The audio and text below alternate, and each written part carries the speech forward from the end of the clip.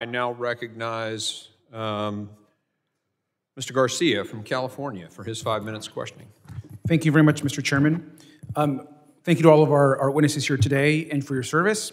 I want to start, Mr. Secretary. um, I know that this last Tuesday night, uh, one of our colleagues uh, also sits on this committee, really decided to waste our time with a very political stunt, which made some deeply unfair and untrue allegations uh, against you, sir.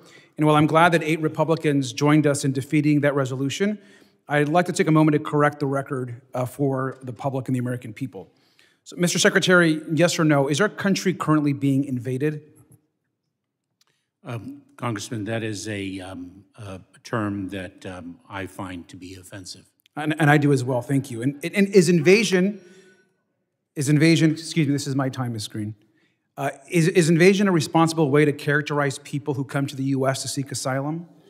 Uh, Congressman, um, I've been asked very often in many hearings now. Um, I heard one congressman actually cite that I've attended 27, participated in 27 hearings.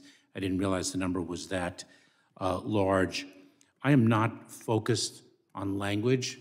I'm focused on the challenges that we face and making sure that we meet those challenges on behalf of the American people. Thank you, sir. And is your agency working every day to stop fentanyl from coming into our country? It most certainly is. Thank you. And is it true that the overwhelming majority of fentanyl is in fact carried through ports of entry by American citizens into this country? It is, Congressman. Is it fair to say that an orderly border actually requires comprehensive immigration reform, which would require congressional action rather than just executive actions? Congressman, immigration reform is vitally necessary to advancing the security of our border.